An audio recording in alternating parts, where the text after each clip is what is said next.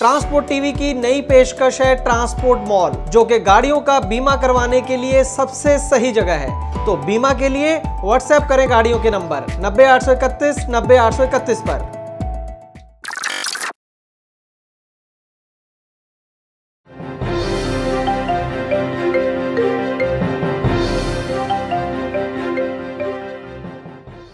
दोस्तों, गाड़ियों की हाइट ये है मुद्दा आज की इस ग्राउंड रिपोर्ट का।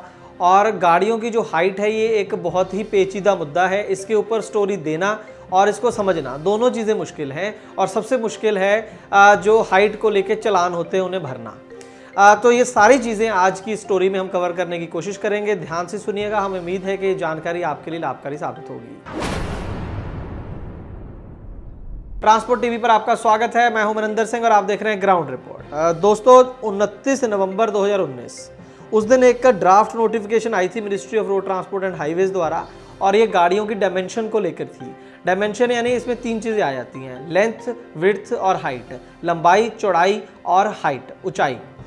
अब इसकी जो फाइनल नोटिफिकेशन है, वो आई है 26 जून 2020 को। असल में जो मेन बदलाव इसमें किया गया है, वो rule number 93 central motor vehicle rules का। उसको बदल दिया गया है। बिल्कुल नया रूल 93 ला दिया गया है और काफ़ी ज़्यादा चेंजेस डायमेंशंस के अंदर कर दी गई हैं। वैसे तो इसका जो ज़्यादा रेलेवेंस है वो वाहन निर्माताओं के लिए है। इसमें थोड़ी थोड़ी जो है डायमेंशन बढ़ा दी गई हैं। किसी के इसमें लेंथ बढ़ा दी किसी में विड्थ बढ़ा दी किसी में हाइट बढ़ा दी है। आ, वो इसलिए सरकार का ये कहना है कि इसे अब इंटरनेशनल जो मापदंड हैं उनके साथ एक सार कर दिया है उसके साथ। तो उसमें फ़ायदा होगा वाहन निर्माताओं कंपनियों का, जो कि भारत के लिए भी प्रोडक्ट बनाती हैं और यहाँ से एक्सपोर्ट भी करती हैं। उन्हें अलग अलग डायमेंशन की गाड़ियाँ नहीं बनानी पड़ेंगी।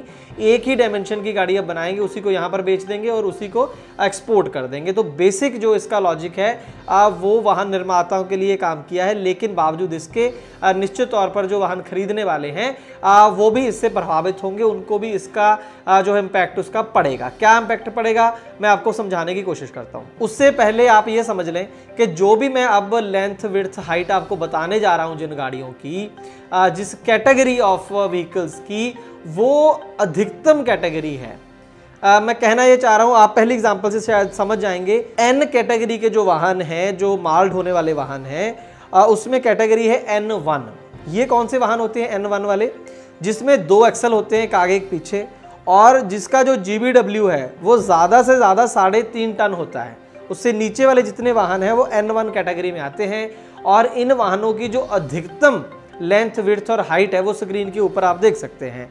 जो ये वाहन है, दो एक्सल और साढ़े तीन टन से कम, उनकी जो चौड़ाई है, वो दो पॉइंट छः मीटर, यानी कि लगभग साढ़े आठ फीट लेंथ जो है, इनकी वो साढ़े छः मीटर और लगभग हाइट जो है, इक्कीस पॉइंट तीन फीट और जो हाइट है, वो तीन मीटर और फीट के अंदर अगर देखें तो लगभग 10 फीट उनकी हाइट हो सकती है, ज़्यादा से ज़्यादा। अब इसके अंदर जो उलझन है, वो क्या है? उलझन ये है कि साढ़े तीन टन बोल दिया गया। साढ़े तीन टन के अंदर ही बहुत वैरायटी है वाहनों की। एक तो मान लीजिए टाटा एस आ जाता है, जिसकी जो जी लगभग 1500 के करीब है 1500 किलो, डेढ़ टन जिसे हम बोल देते हैं। और वहीं पर महिंद्रा पिकअप जो गाड़ी है, उसका 2500 किलो यानी कि लगभग ढाई टन से ज़्यादा है। और दोनों की जो हाइट है जो ज़्यादा से ज़्यादा हाइट पीछे रख सकते हैं, दोनों में काफ़ी ज़्यादा अंतर है।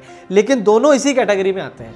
कहना मैं चाह रहा हूँ इसलिए कि ये जो डायमेंशंस दी हैं इसी वजह से मैं कह रहा हूँ कि सीधा सीधा आपको इम्पैक्ट नहीं है क्योंकि ये अधिकतम सीमा दे दी गई है। अगर किसी ने गाड़ी बनानी है टाटा ने लेलैंड ने या किसी और कंपनी ने तो उनके लिए अधिकतम ये कर दी गई भाई, जो भी वाहन बनाओगे, वो ज़्यादा से ज़्यादा उसकी हाइट तीन मीटर हो सकती है ए एन वन कैटेगरी में। तो उससे आपको नीचे नीचे रखनी है और अलग अलग हो सकती है हर वाहन की। तो अब आप सोच रहे होंगे कि हमें इस नोटिफिकेशन का क्या फ़ायदा है तो वो मैं आपको बताता हूँ। अगर आपके पास ट्रेलर गाड़ी है जिसे हम ट्रैक्टर ट्रेलर बोल देते हैं आ, उसके अंदर मैं अगर आपको बताऊँ तो दो तरह का ट्रेलर होता है भारत में। आ, एक सेमी ट्रेलर होता है और एक कंप्लीट ट्रेलर होता है। सेमी ट्रेलर और ट्रेलर में फ़र्क ये होता है कि सेमी ट्रेलर जो है, उसका जो आगे वाला हिस्सा होता है, उसका जो वज़न रहता है, वो आगे वाला जो हिस्सा ट्रक है या उसको ट्रैक्टर भी बोलते हैं टेक्निकल टर्म्स में, उसके ऊपर उसका वज़न रहता है। वो होता है सेमी ट्रेलर और एक ट्रेलर ऐसा है जो ट्रैक्टर के बिना भी, जो आगे वाले ट्रक के बिना भी सड़क पर खड़ा हो सकता है उसे हम कंप्लीट ट्रेलर बोलते हैं। और दोनों की जो हाइट में वो अंतर है। अगर सेमी ट्रेलर है आपके पास तो उसकी जो हाइट है वो अब जो है बढ़ाकर 3.8 से 4 मीटर कर दी गई है, जो कि अगर फुट में हम कन्वर्ट करेंगे तो 13.12 फीट ये बनती है।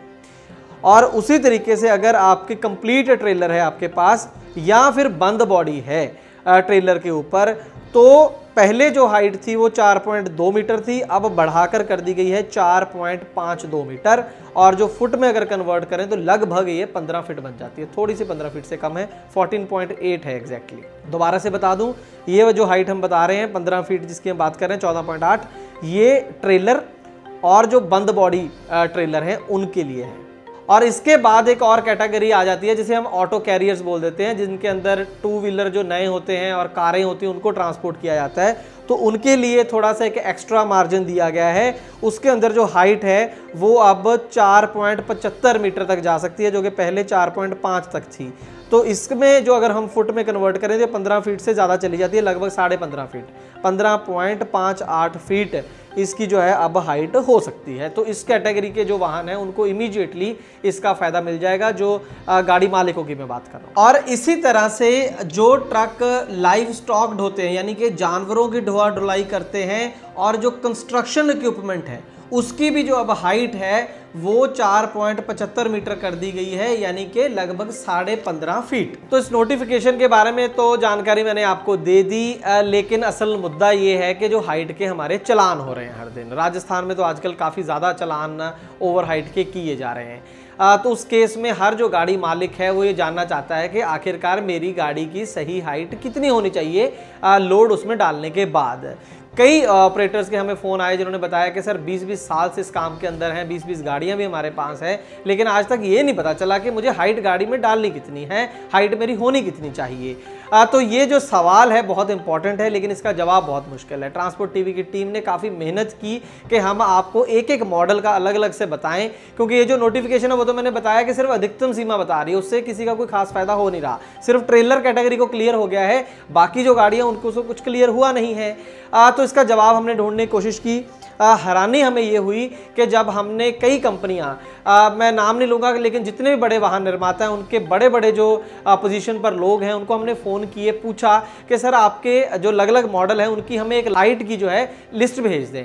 तो हमें हैरानी हुई कि बड़े बड़े जो इनके ऑफिसर हैं, उनको भी पता नहीं है कि हमारे कौन से मॉडल की कितनी हाइट होनी चाहिए। जी हाँ बहुत ही हैरान कर देने वाली बात है। डीलर लेवल तो आप भूल ही जाए। डीलर को भी बेचने वाले को ये नहीं पता कि किस गाड़ी की कितनी हाइट होनी चाहिए, या फिर वो इतनी मेहनत नहीं करना चाहते हैं हो सकता है उनको पता होगा लेकिन वो इतनी मेहनत नहीं करना चाहते हैं। तो यहाँ पर समझ में ये नहीं आ रहा कि जिस गाड़ियों के चलान किए जा रहे हैं उसकी गाड़ी मालिक को खुद पता ही नहीं कोई उसे बता ही नहीं रहा कि उसकी हाइट कितनी हो, होनी चाहिए और उसके चलान हो रहे हैं। और ये तो मैं मानने को तैयार ही नहीं कि किसी आर को भी पता होगा कि किस गाड़ी की हाइट कितनी होनी चाहिए। बहुत ही मुश्किल है ये जानना। हर गाड़ी का तो पता ही नहीं हो सकता। तो एक अंदाजे के साथ गाड़ियों के चलान किए जा रहे हैं और जो गाड़ी मालिक हैं वो इसके लिए मजबूर हैं चलान भरने के लिए। तो एक सोल्यूशन मैं यहाँ पर बताना चाहूँगा आपको। और उससे पहले सरकार को। सरकार को तो सोल्यूशन ये है कि, सर, जब वो आरसी आप लोग देते हो ट्रांसपोर्ट विभाग जो हमारे, उसके अंदर बहुत सारी इन्फॉर्मेशन रहती है। रजिस्ट्रेशन कब हुई?